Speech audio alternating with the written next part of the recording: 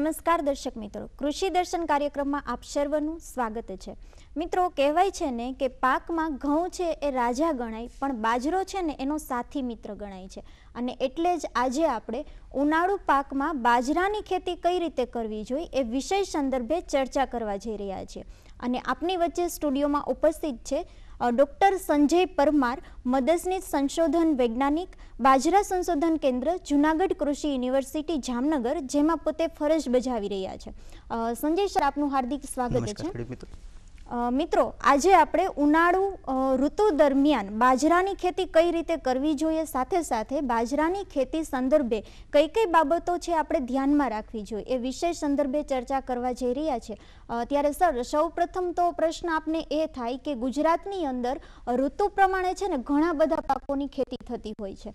તો એમાં ખાસ કરીને ઉનાળાની ઋતુમાં બાજરાની ખેતી થતી હોય છે. તો બાજરાની ખેતી થવા પાછળનું મુખ્ય કારણ શું છે? અથવા તો ગુજરાતમાં છે બાજરાની ખેતી થાય છે તો એનું મહત્વ શું છે?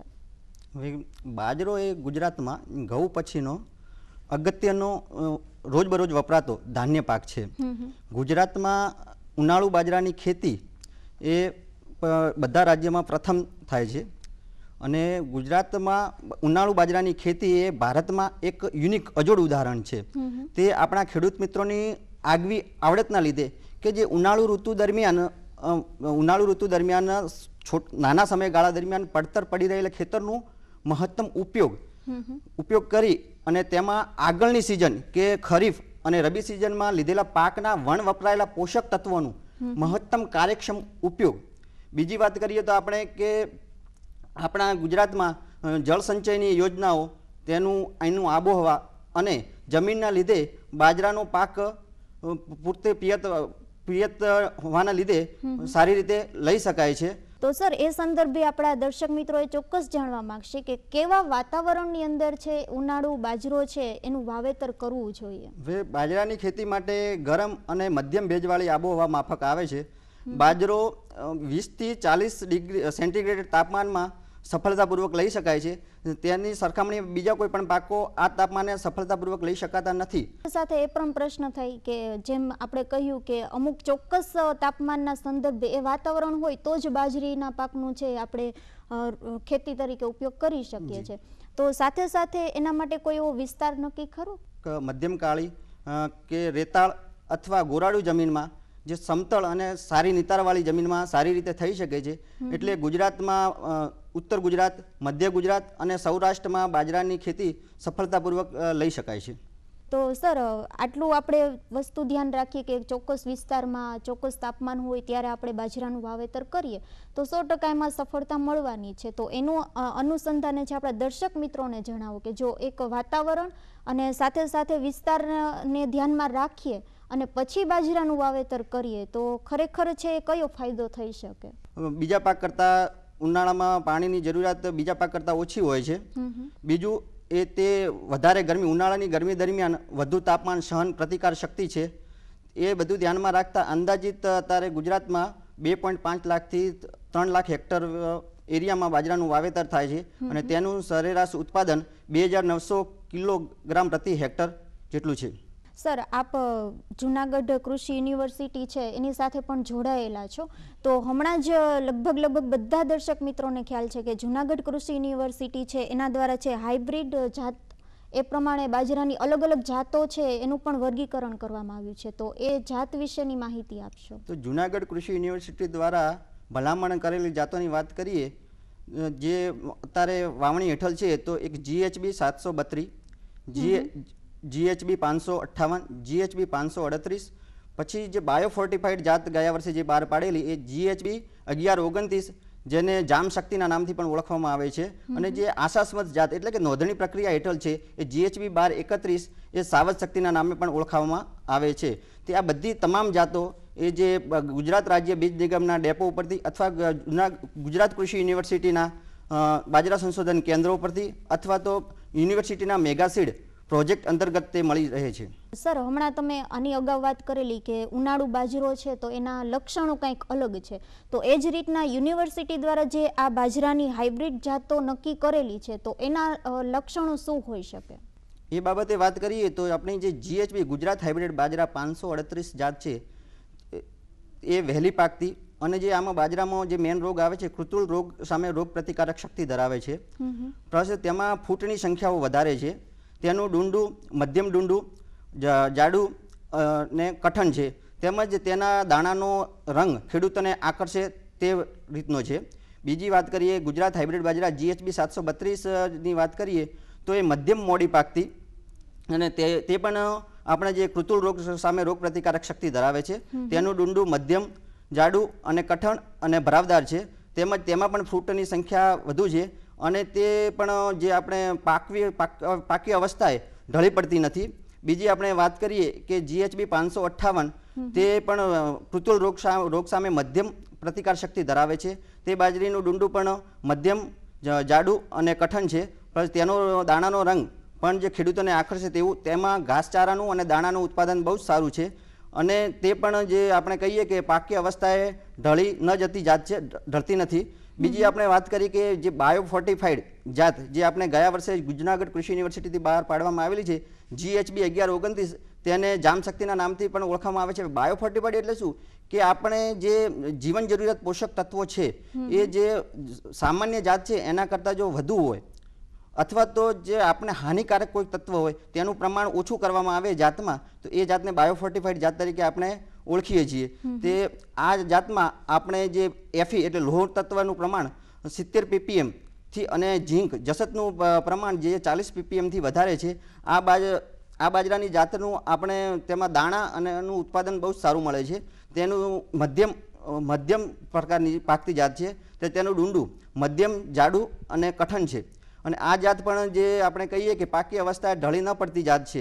એવી જ રીતે જે આપણે આશાસ્પદ જાતની વાત કરીએ જે અત્યારે બહાર નથી પાડેલી પણ નોંધણી પ્રક્રિયા હેઠળ છે. જીએચબી બાર એકત્રીસ તેને આપણે સાવજ શક્તિના નામથી પણ ઓળખીએ છીએ.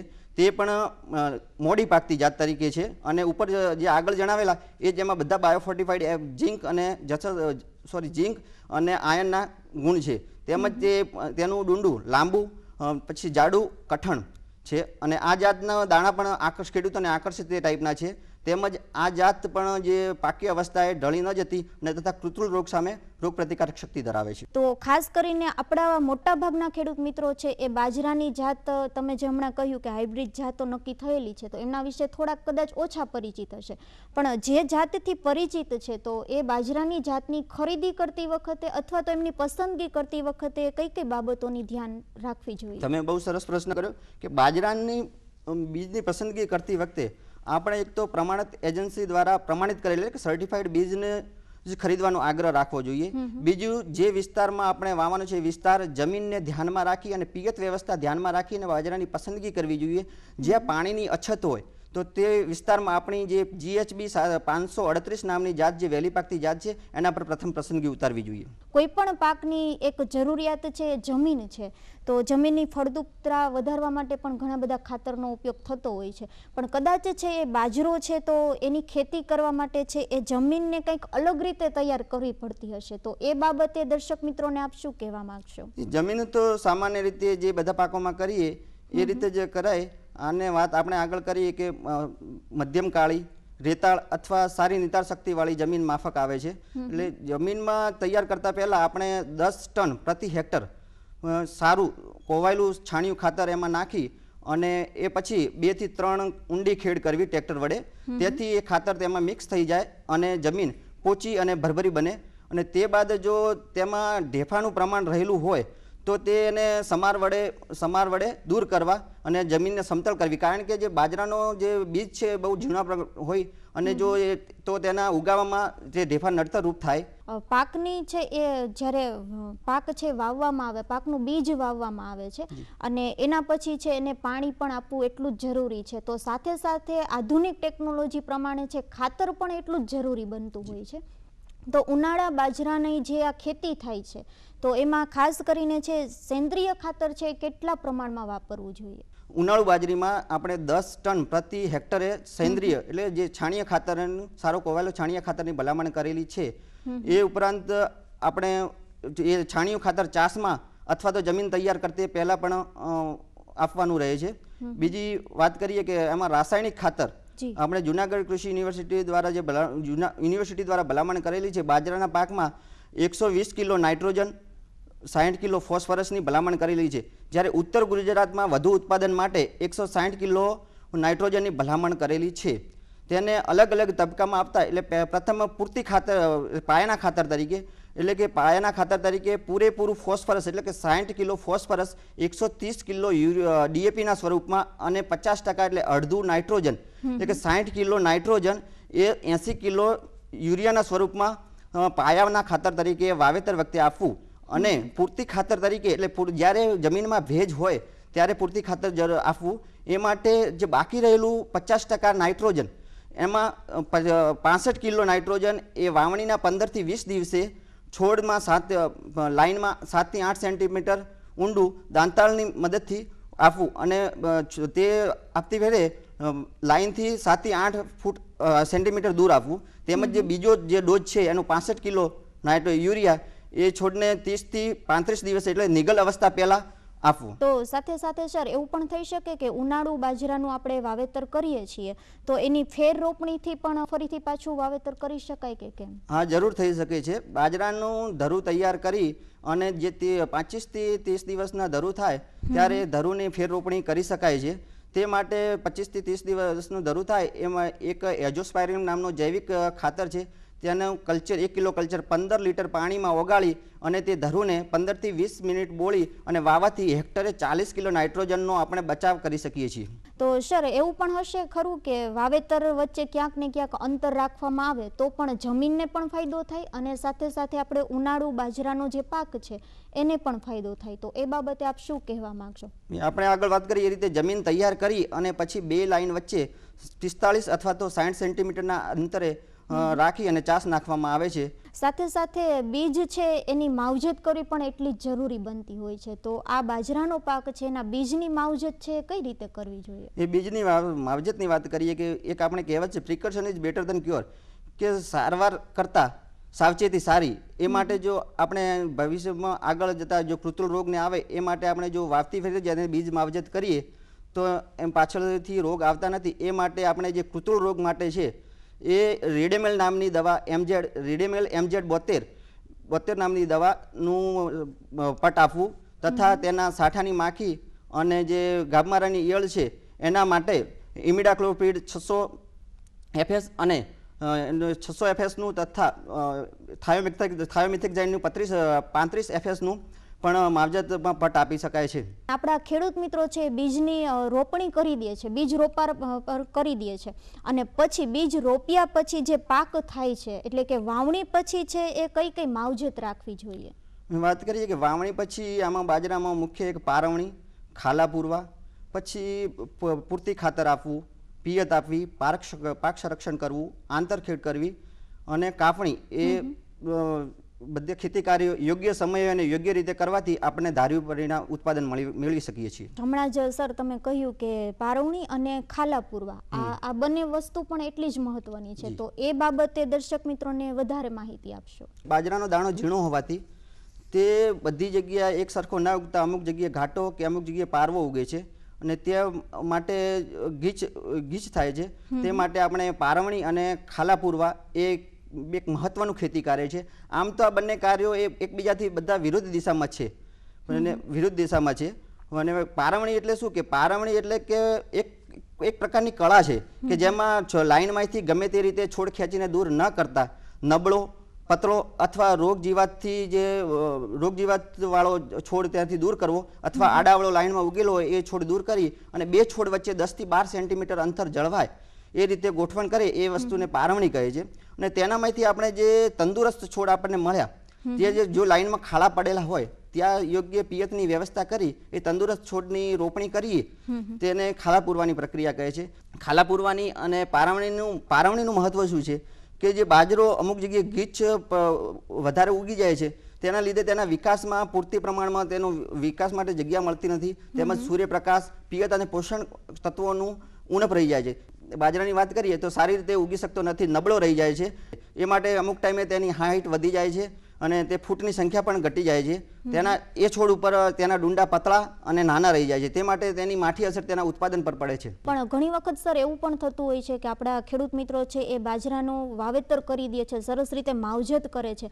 પણ માવજત કર્યા પછી જ્યારે બાજરાનો પાક ઉભેલો હોય છે તો એમાં ઈયળ પણ આવી જતી હોય છે. ઘણા બધા એવા જીવજંતુ છે એનો ઉમેરણ એમાં થતું હોય છે. એટલે કે ઉનાળુ બાજરામાં પાક સંરક્ષણ સંરક્ષણ માટે છે શું કાળજી રાખવી જોઈએ? આમ તો ચોમાસાની દ્રષ્ટિએ ઉનાળામાં જાજુ એમાં પાક જેવા જીવાતનું કે રોગનો ઉપદ્રવ્ય આવતો નથી નહીવત આવે છે.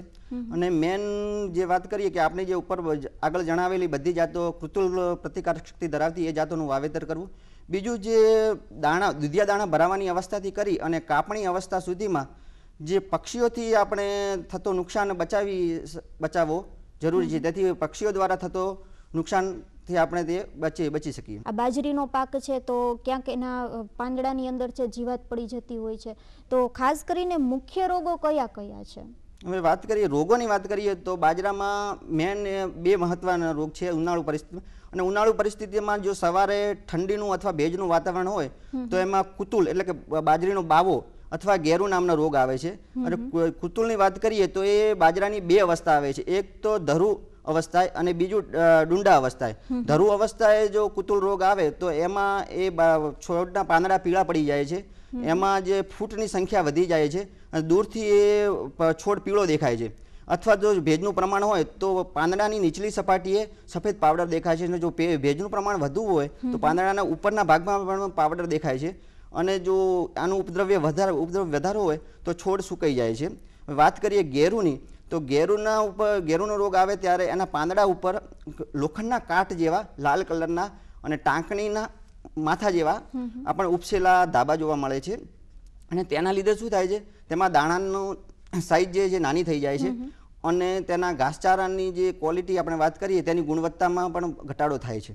તો ક્યાંક અંશે એ પણ એક પ્રશ્ન ઉદ્ભવે કે જો પાકમાં આવા રોગો થાય છે તો એ રોગના નિયંત્રણ માટે શું કરવું જોઈએ? રોગ ના નિયંત્રણ માટે વાત કરીએ તો બાવો જે ડાઉની મિલ્યુ કહીએ છીએ આપણે બાજરીનો બાવો એ રોગ માટે તો આપણે આગળ વાત કરીએ રોગ પ્રતિકારક શક્તિની જાતોની વાવણી કરવી જોઈએ. બીજું કે એમાં આપણે આગળ વાત કરી કે બીજની માવજત રીડોમાઇલ આઠ ગ્રામ પ્રતિ એક કેજીએ તેનો પટ આપવો જોઈએ. અને બીજું આ પાક ક્યારે છે? એકની એક જાત. બહોળા પ્રમાણમાં વારંવાર વાવવામાં આવે તો આ રોગનું ઉપદ્રવ્ય જોવા મળે છે. અને આ રોગમાં આગળ એક આપણે લાક્ષણિકતા બતાવવાની રહી ગઈ કે ડુંડા અવસ્થાએ આ રોગ આવે ત્યારે તેમાં તેના પાંદડા પતળા અને લાંબા થઈ જાય છે અને જે ડુંડાનું આકાર છે એ આપણે ગુચ્છ જેવું અથવા તો સાવરણી જેવું થઈ જાય છે. અને એમાં અમુક ટાઈમે અડધા ભાગમાં દાણા બેસે છે તો અથવા તો આખા ભાગમાં દાણા બેસતા નથી અને આખું સ્ટ્રક્ચર જે આપણે ડુંડાનું છે એ દાઢી જેવું થઈ જાય છે. એ માટે આપણે પાકની ફેરબદલી કરતું વર્ષવાઇઝ દરેક પાક અથવા વેરાયટીની ફેરબદલી કરવી જોઈએ. ખેડૂત મિત્રો, ખાસ કરીને જે સરે માહિતી આપી એ પ્રમાણે કે દર વખતે છે બાજરાની એક જ જાતનું આપણે વાવેતર કરીએ, તો કદાચ સરે જે માહિતી આપી એ પ્રમાણે છે એ રોગ નિયંત્રણ માટેના જે આપણે પગલાં લઈએ, તો પણ એ નિષ્ફળ જશે, સર. અને સર હમણાં તમે વાત કરી કે આ રીતના બાજરાના પાકમાં રોગ જોવા મળે તો એના પછીનું જે કંઈ માવજતના ને એ બધા સ્ટેપ આપણે અનુકરણ કરીએ તો કદાચ એ રોગ પર નિયંત્રણ લાવી શકીએ. પણ એવું પણ ખરું હશે આમાં કે બાજરાના પાક પાક આપણે વાવીએ છીએ અને પછી જેમ અમુક પ્રકારની ઈયળો છે એ પણ એમાં જોવા મળતી હોય છે. તો મુખ્યત્વે છે આ પાકની મુખ્ય જીવાતો કઈ કઈ છે? આ પાકમાં મુખ્ય ત્રણ જીવાતો જોવા મળે છે. એક તો સાંઠાની માખી ગાભમારાની ઈયળ અને ડુંડાની ઈયળ. સાંઠાની માખી છે એ તે ધરુ અવસ્થાએ તેની પાનની ભૂંગળીમાં પ્રવેશી તો તેની ટોચ જે સુકાઈ જાય છે બીજી વાસ્તુ કરીએ તો જે ડુંડાની અવસ્થાએ આ જો ઈયળનું નુકસાન હોય તો એના ડુંડામાં દાણા બેસતા નથી અને ડુંડુનો ટોચનો ભાગ એ ચોટી જેવો થઈ જાય છે. અને બંને જે ગાભમારાની ઈયળ છે એ પણ તેના જે ડુંડુ ડુંડા અવસ્થાએ તેના દાંડીમાં પ્રવેશે છે. ત્યારે તે અંદરથી કોરી ખાય છે. ત્યારે ડુંડું સુકાઈ જાય છે અને એમાં દાણા બેસતા નથી. જી દર્શક મિત્રો, આજે આપણે છે ઉનાળુ બાજરીની ખેતી કઈ રીતે કરવી જોઈએ અને સાથે સાથે કઈ કઈ બાબતોનું ધ્યાન રાખવી જોઈએ એ માટે ચર્ચા માટે આપની વચ્ચે સ્ટુડિયોમાં છે ડૉક્ટર સંજય પરમાર, જેઓ મદદનીશ સંશોધન વૈજ્ઞાનિક, બાજરા સંશોધન કેન્દ્ર, જુનાગઢ કૃષિ યુનિવર્સિટી જામનગરમાં પોતાની ફરજ નિભાવે છે અને આજે આપને છે એ કૃષિ દર્શન કાર્યક્રમ અંતર્ગત ઘણી બધી માહિતી આપી છે. સર, એ માટે આપનો ખૂબ ખૂબ આભાર. અને સાથે સાથે દર્શક મિત્રો સરે જે માહિતી આપી છે આજના વિષય અનુસંધાને, તો એ બાબતની છે આપણે ચોક્કસ છે એ ધ્યાનમાં લઈએ અને ઉનાળાના ઋતુની દરમિયાન છે એ બાજરાના પાક છે એનું વાવેતર કરીએ અને સાવચેતી સાથે છે વાવેતર કરીએ અને સમૃદ્ધ બનીએ એવી આશા સાથે જ આપ સર્વ દર્શક મિત્રોનો પણ ખૂબ ખૂબ આભાર.